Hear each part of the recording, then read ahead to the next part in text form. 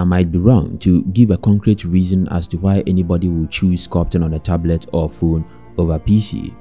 And you would also be wrong to choose sculpting on a tablet or phone because you think it's better than PC. Regardless, there should be reasons, and these are mine. You can also share your reasons in the comment section below. I would appreciate it. My first reason why I think most people sculpt on tablet and PC has to do with um, escaping the use of mouse, which most people claim doesn't give detailed um, and precise control, which can be frustrating.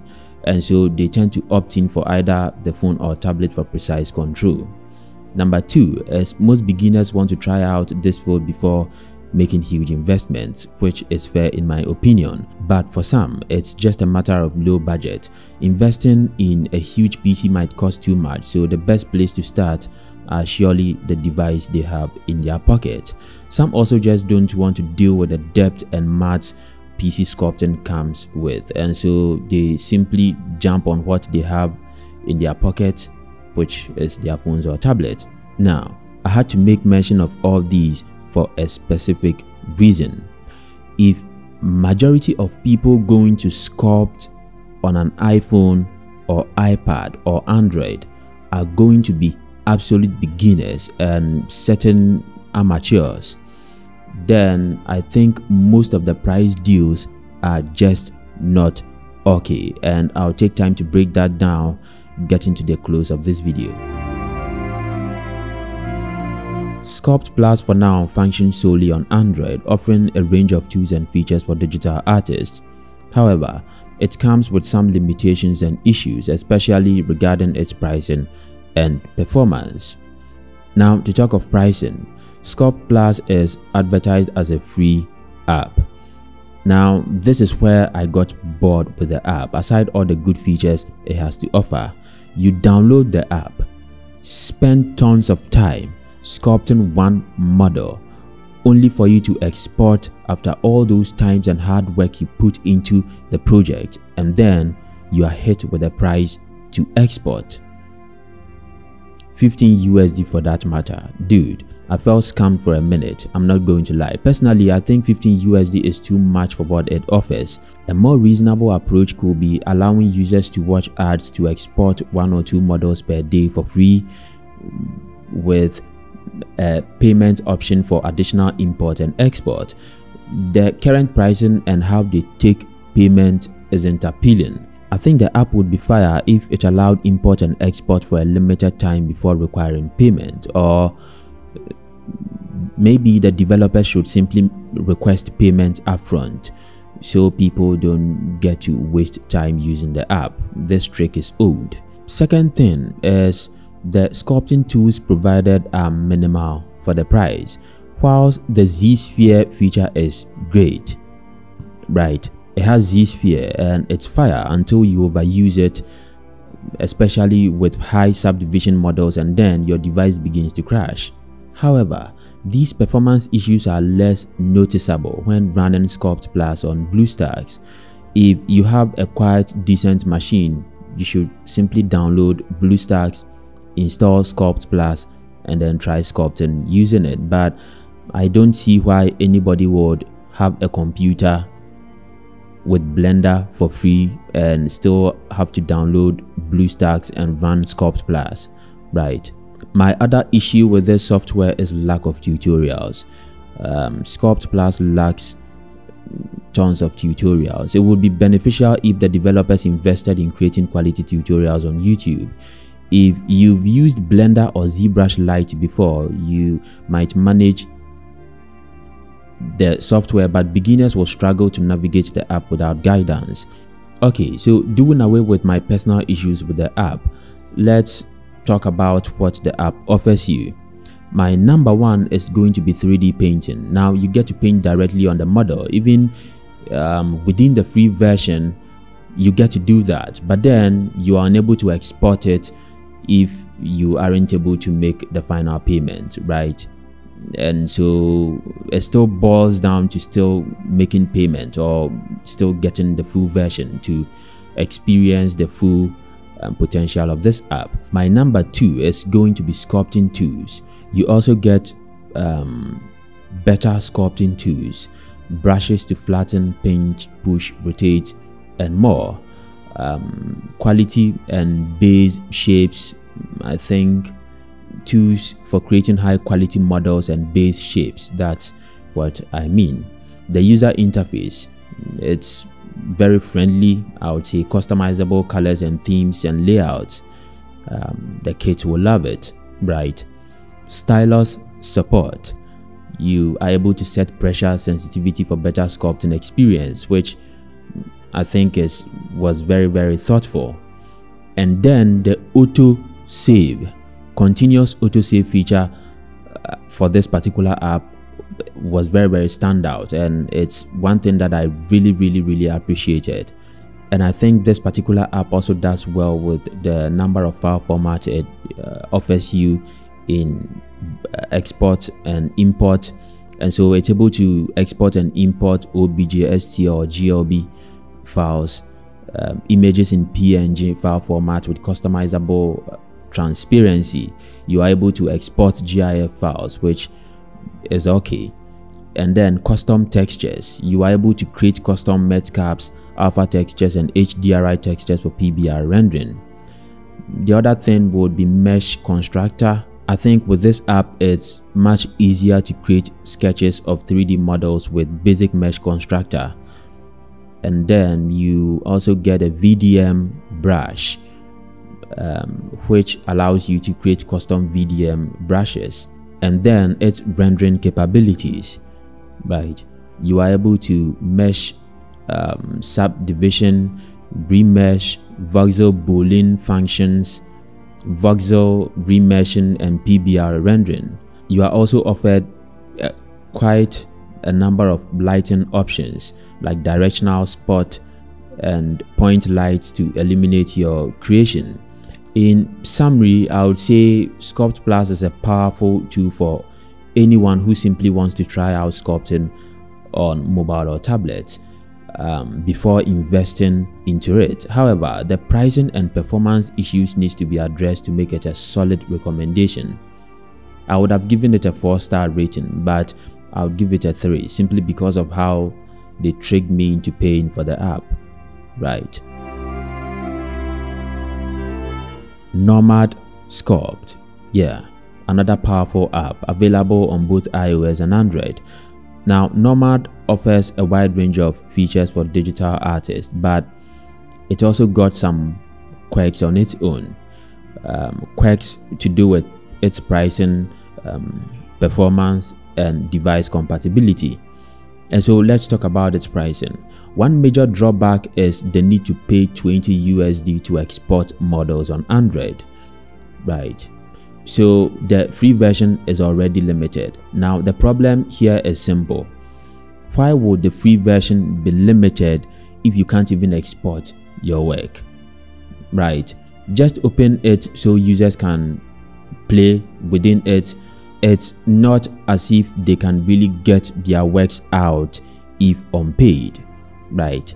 The same complaint I made concerning Sculpt Plus. New Android users will sculpt for hours only to be asked to make payments before exporting. And so if they are unable to provide payment, then it means all their hours of work is just gone like that. And I'm not sure I'm the only Android user who has a problem with this tactical way of requesting for payment. Provide us with a hint, right? Perhaps offer a limited number of free exports per first time user with a hint to pay the next time um, they sculpt something, you know. But this strategy to get people to pay at all costs simply because they put in more hours is really annoying. Okay, so let's get down to device compatibility. This is just another personal take, right? If you've tried Nomad on both mobile and tablet, you would realize the software is best suited for tablet rather than mobile. Even larger phones don't provide the best experience, but on tablets, it's just awesome. App crash is a huge quirk here, and my only reason will be one, the app still got some more work since developers are doing well putting um, it on Android and iOS. So I give them that pass, but it's too much in my opinion. Out of nine different phones I tested this on, simply to be very sure, only three were super stable. Awesome on Google Pixel 7 and 8, and then the Samsung Galaxy um, S23 Ultra and I'm sure it has to do with the processor.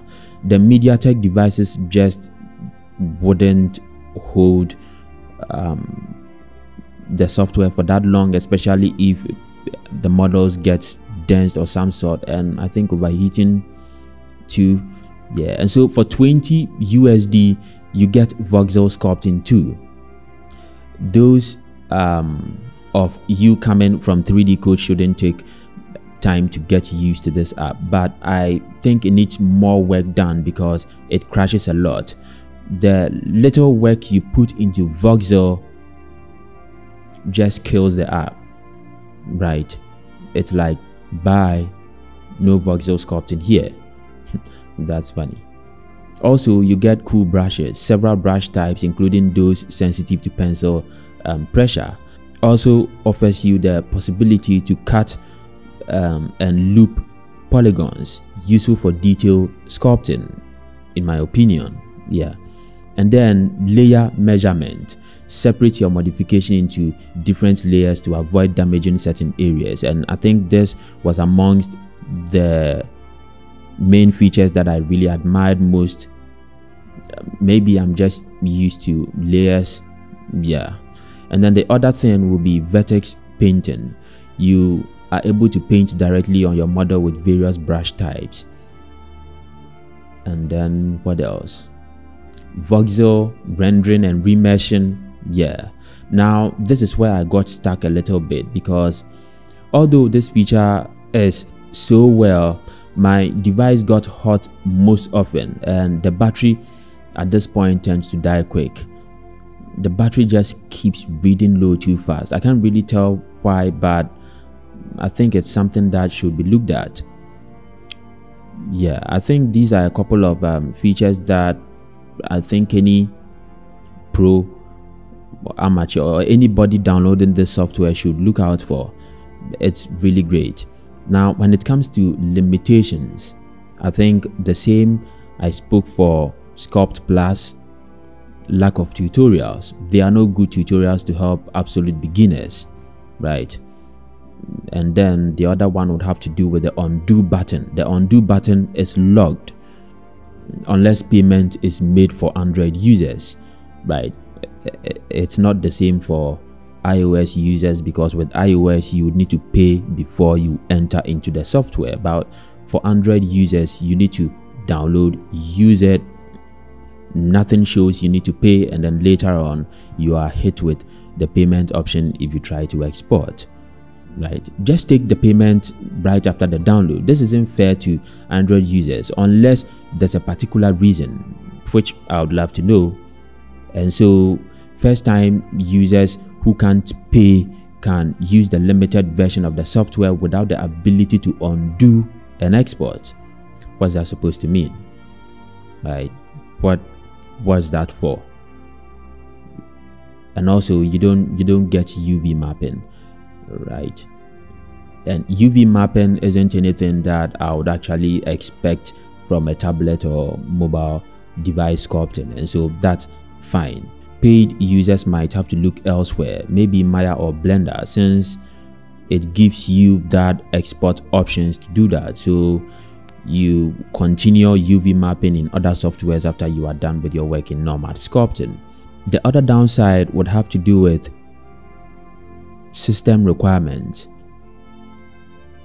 Right that should be a downside. Creating detailed objects like hair fabric or fur is limited by device ram. That is why i mentioned the devices it crashes on from the early stages. Sucks a lot of device strength and so if you are amongst those people experiencing lots of crashes then it could simply be that your device doesn't meet their requirements. And I'm not sure if they have their device requirements written down anywhere for people to check out. Okay, so these are a couple of things to note concerning Nomad sculpting. One will be 3D printing. It's suitable for illustration purposes and 3D printing, although uh, decimation pass could improve the results. And the other would be game assets. It's not a software you would want to create game assets in because it lacks um, features like animation, rigging, and proper PBR texturing for now. Right. Now, my suggestion for the developers will be that they improve the single vertex movement. It's hard to move a single vertex in straight line, which is basic but very useful. And so if they could give us the advantage of locking either x y or z axis so we could move in straight line i think that would be cool and also do their best to put out more tutorials out there for beginners to start with Sculptura 3D is another powerful app, but as it stands now, it's super exclusive for certain iPad models, right? And the price is at 10 um, USD. For now, it offers high quality and detailed meshing. Its sole purpose is to model and you don't get no support for rendering or painting. But it's a good app overall and some of the key features will be 1. High resolution clay sculpting engine um, no need to worry about meshes or triangles. You can cut holes freely and it takes advantage of the full GPU acceleration, which uses Metal for enhanced performance. And the other thing will be its long undo history. I think this is one of the things that I liked about the app. You don't have to worry sculpting because its undo history is so long. You can go back and redo certain things at any time um, you want if there need be. You also get a real-time rendering, uh, which ensures your sculpting looks great throughout the process. Apple Pencil support, which enhances precision and control, and the latest iPad I think will do so well running this particular app. Also, artist created templates. Now, this provides starting points and inspiration. And so the moment you download the app you have before you click on any of the options or tools you want to use you get instructions and guidance as to how to maneuver your way through which i think is very very great.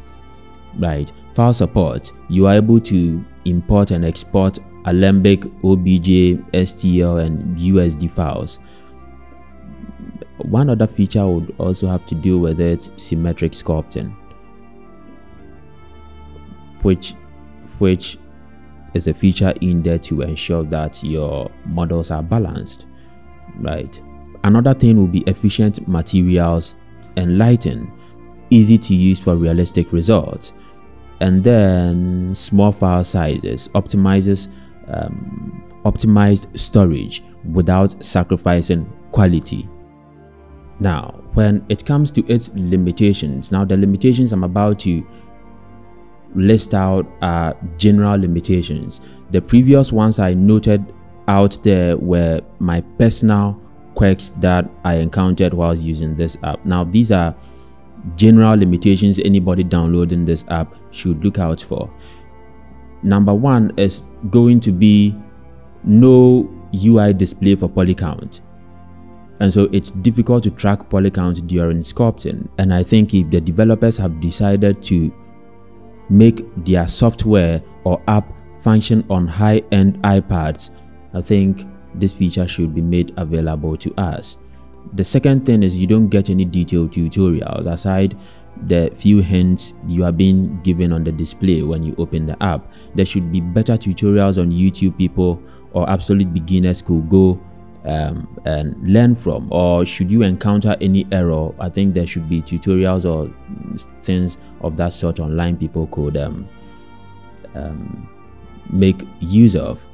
Also top professionals might find it to be very basic right? That was just by the way okay? So since nomad is also on ios and seemed like the big guy out there i decided to place them side by side to see how they both um, do right? For people who might have ipads and get stuck in between which one to go for. So number one is going to be usability. Now with usability nomad sculpt is supported both on ios and android and you get more tools and it's better for offering multi-resolutional sculpting. When it comes to Sculptura 3D, it's exclusively to iOS, certain iPad models, high-end models, right? And with and it focuses on ease of use and high-end resolution clay engine.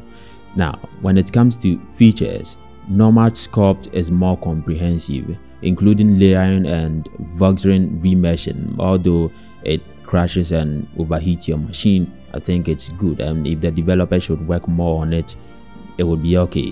While Sculptura 3D provides an advanced clay engine but lacks rendering and painting capabilities.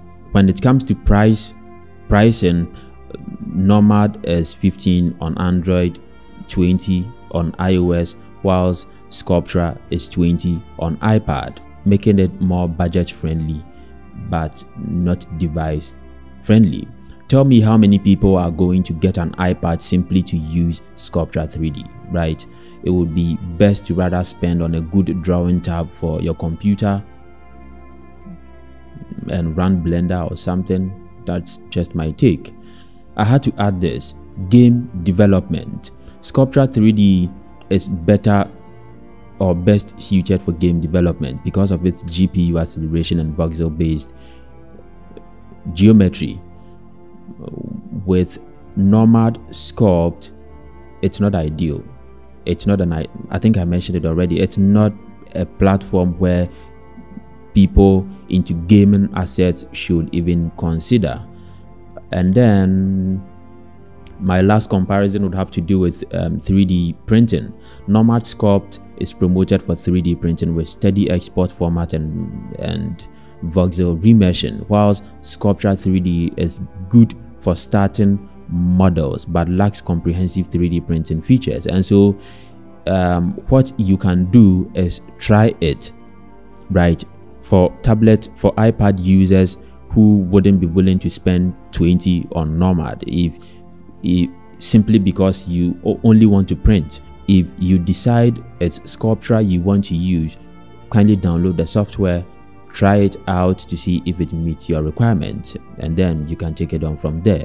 When it comes to professional use case scenario, Sculptura 3D excels with so many artists uh, recommending, not necessarily recommending, but giving their take on how good it was right? Its real-time rendering and its compatibility with premium um, 3D models.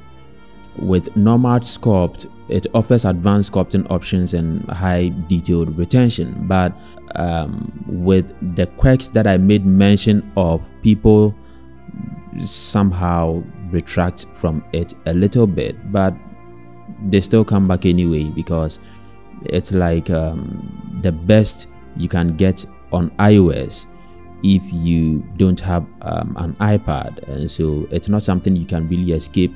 Just have to make do with it. For 5 USD, you get a software solely on iPad and other Apple devices, not on Android yet. Right, you have support for Apple Pen and it's well optimized for iPad Pro down to iPhone 7. You can export in STL, OBJ, Mm, truth be told, I just used this app. Didn't really write down anything. Maybe I was just tired or bored, you know. Yeah. You can check it out because it made it out to my list. There were others I tested heavily but dropped them because I didn't think it had what it takes to make it into um, this video. They were cool. They were cool. Some were really cool, but maybe I just felt they were simply far from what the majority might need it for. hey drop any of them softwares you think is great and if you could provide a bit of details to it in the comment sections below with links to their download pages i would appreciate it and if there was any anything i missed or errors i made kindly um, um, fix them or correct me in the comment section below what are we here for? To learn. Right. Until my next video peace out